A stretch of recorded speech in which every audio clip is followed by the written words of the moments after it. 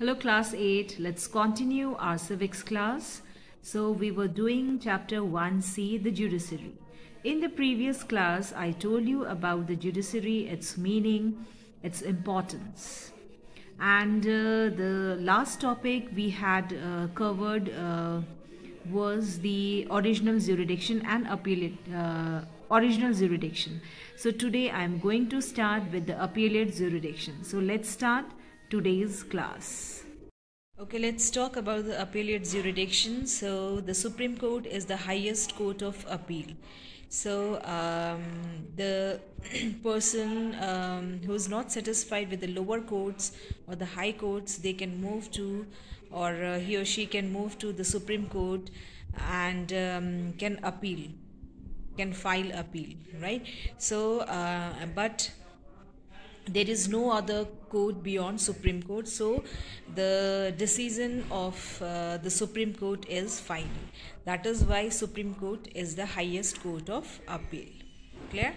Okay now next is advisory jurisdictions. Now the president uh, may seek uh, supreme court's opinion on the advice of uh, like uh, on a questions of law on the um, matter of public importance also. But this is the supreme court it is up to the supreme court uh, that uh, the supreme court may give its opinion to the president. Right? And the, the opinion of the supreme court is not binding on the president Okay, let's talk about the Supreme Court as a guardian of the Constitution. So we know that Supreme Court is the final interpreter of the um, final interpreter, we can say, and uh, Supreme Court is what? It is the um, guardian. It is the protector of the fundamental rights also, right? So uh, it's written here. It is the supreme law above uh, all men, matters, and legislation. The Supreme Court is given the uh, power to interpret the constitution, declare uh, the law, and enforce the principles of checks and balances prevalent in the constitution. So, Supreme Court is what? It's a guardian and the protector of the uh, constitution. Uh, it checks and uh, it also checks the validity of the law, right? What is right, what is wrong, whether it's suited um, to the uh, people that it uh, is going to check right? Now next is supreme court as a guardian of fundamental rights. So supreme court is also considered as a guardian protector of fundamental rights because um, if a person a citizen is violated is not has been violated by any individual or government or by any institutions in that case the person can move to the court high courts or supreme court and the supreme court um, issue an uh, issue an uh, issue uh, a writ. Writ is a legal document um, or order uh, in uh, order um, to which is issue which is issued uh, which is issued in order to protect the fundamental rights right?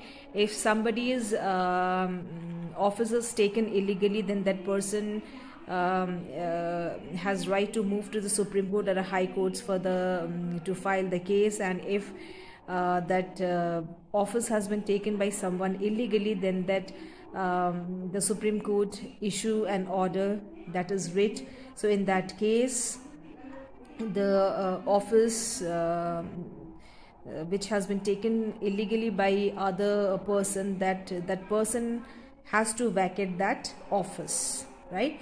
So these kind of like um, these are the examples uh, through which we can say supreme court is a guardian of the fundamental rights. There are different uh, kinds of uh, writs um, writs of habeas corpus, writs of mandamus, writs of prohibition, and your quo warranto and certiorari. These all are the writs, right? Now, next is Supreme Court as a court of record. So, Supreme Court uh, is also a court of uh, record. its judgments are recorded for evidence.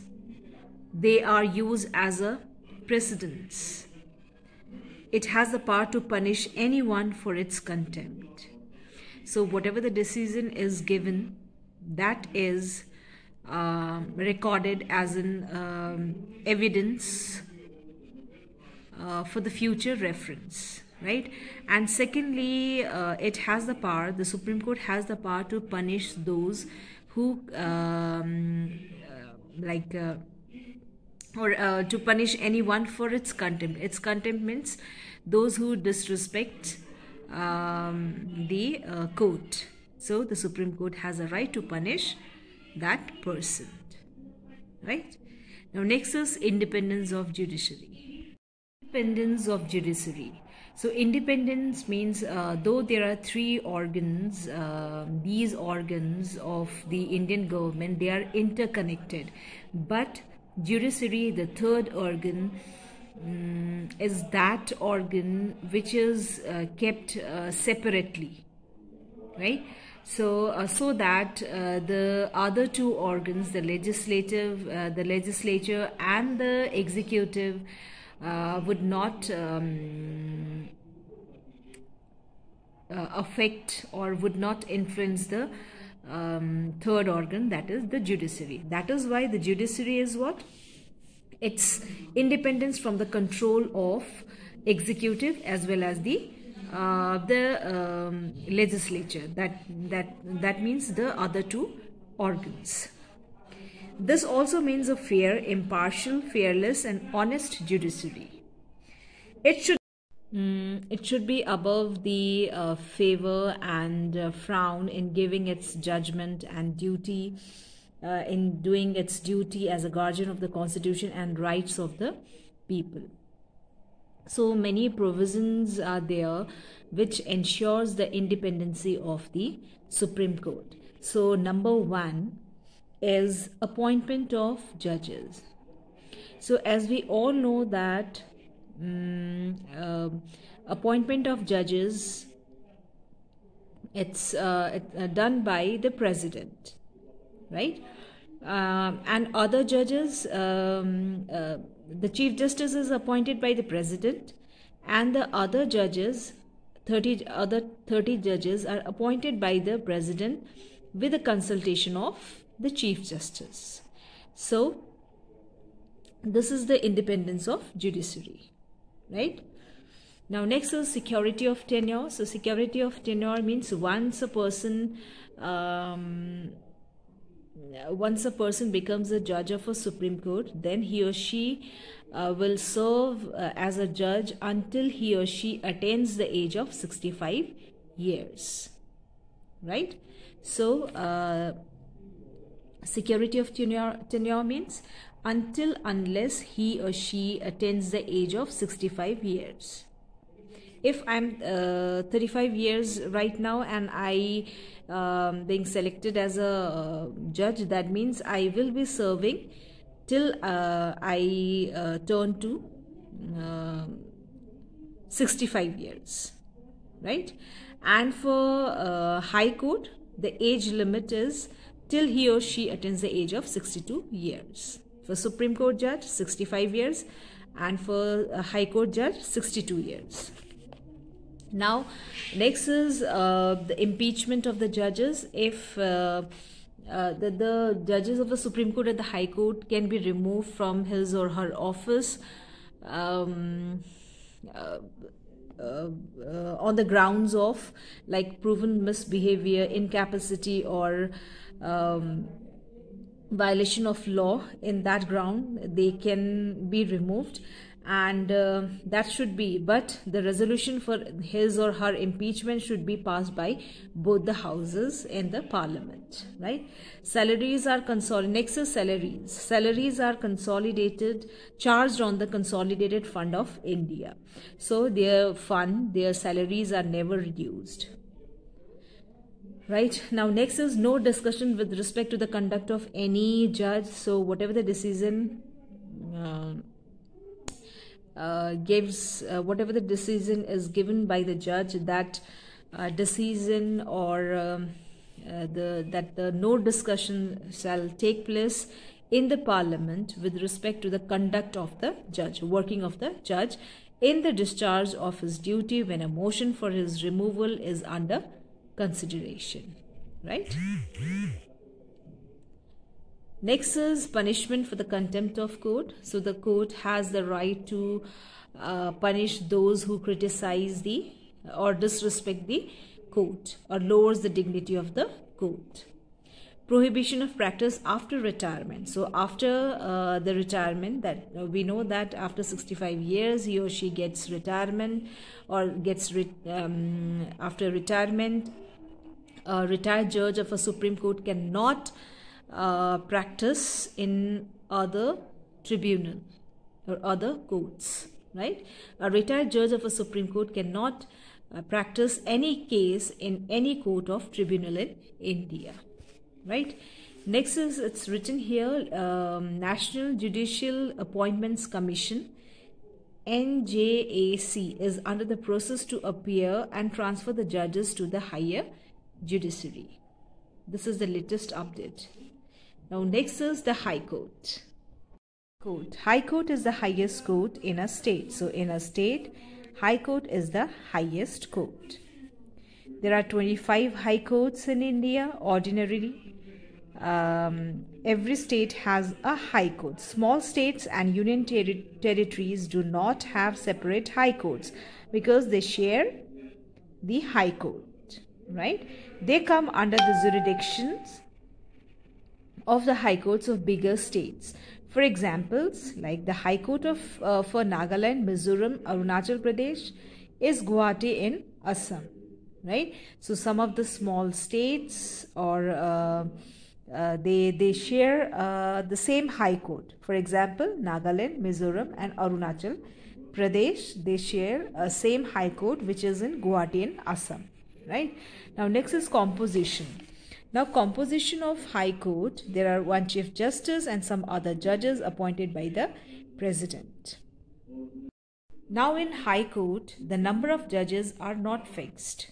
That depends on uh, like uh, that depends on the population as well as uh, the depends on the case right so the high courts consist of uh, one chief justice and other some judges so the number of the judges are not fixed right and these judges are appointed by the president clear now all the high courts do not have the same strength so as in Supreme Court, there are fixed 20, 31 uh, judges. One is Chief Justice and 30 are other judges.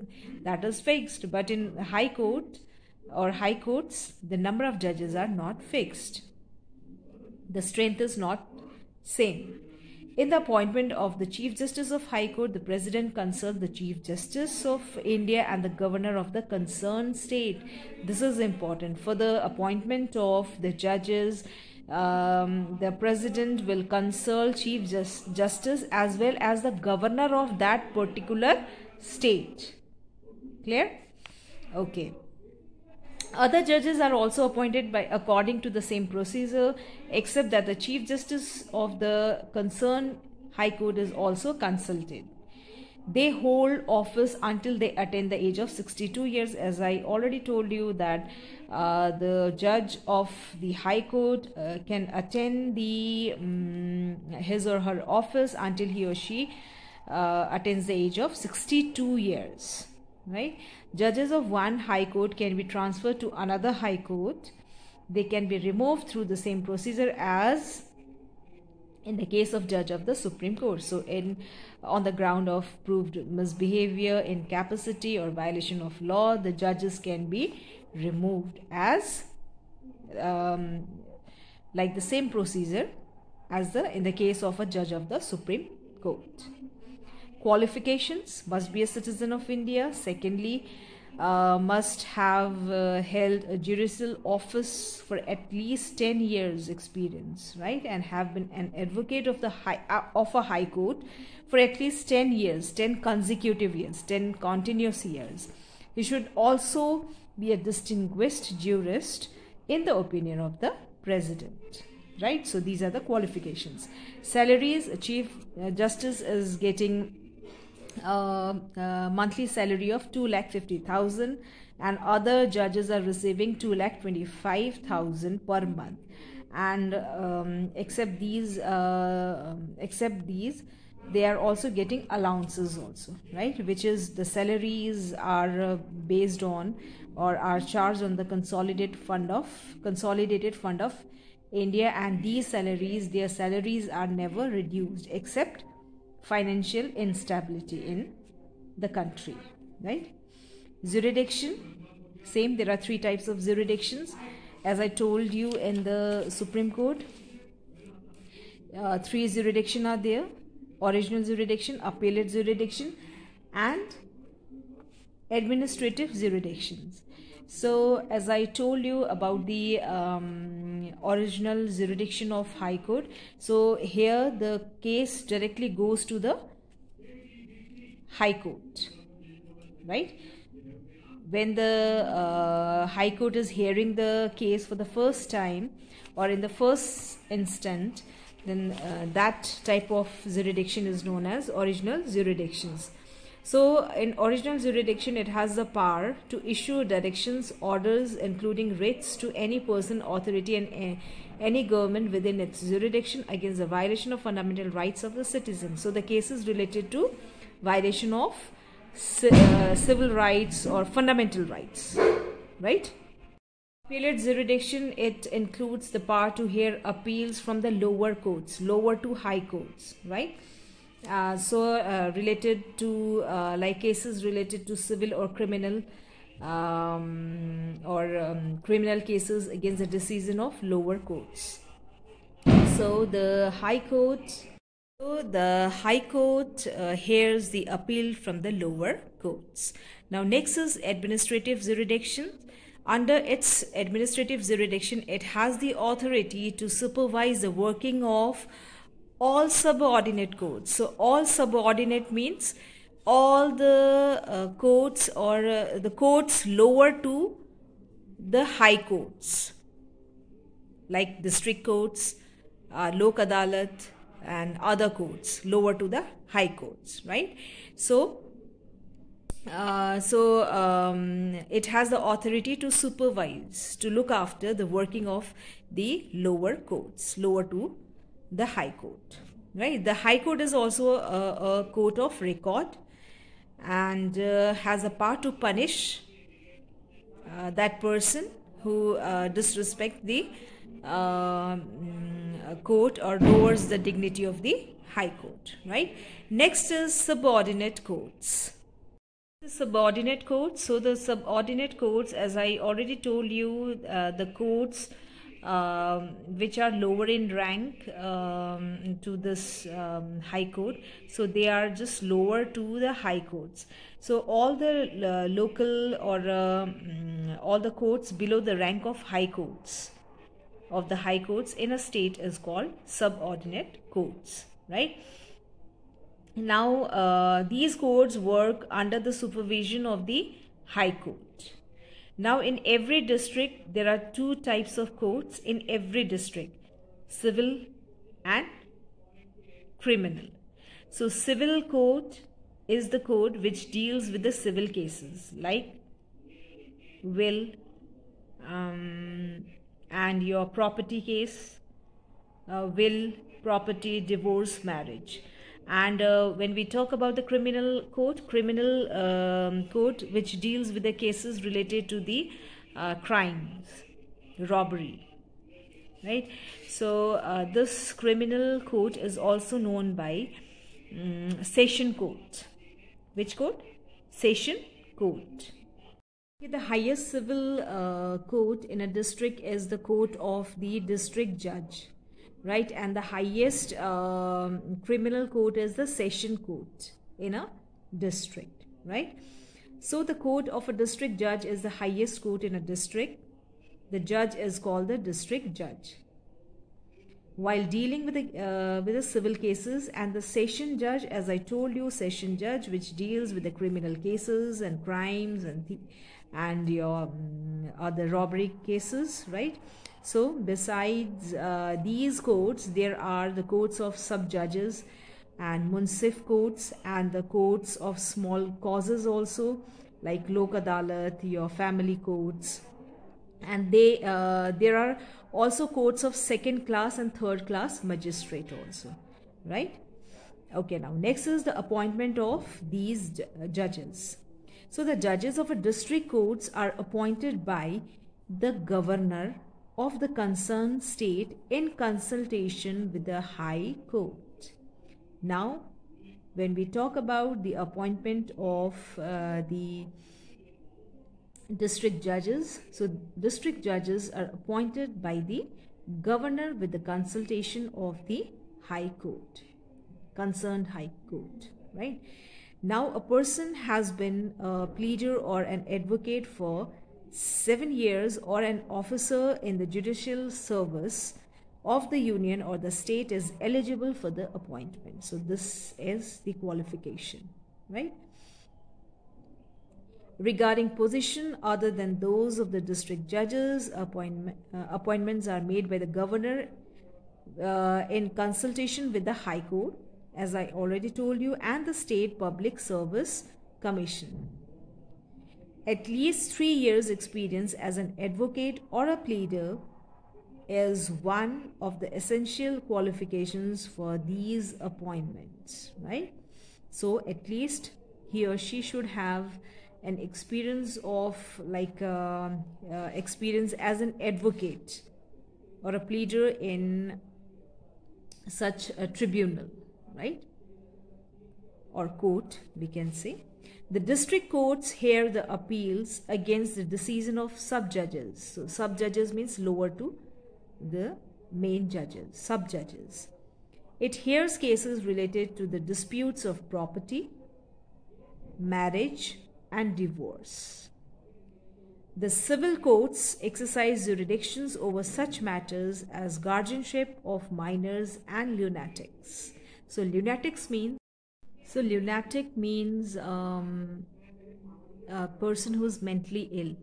So the cases related to the guardianship of uh, that type of person who is mentally ill or uh, the person who is minor, not mature.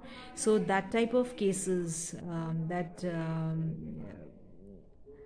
uh, so it's a um,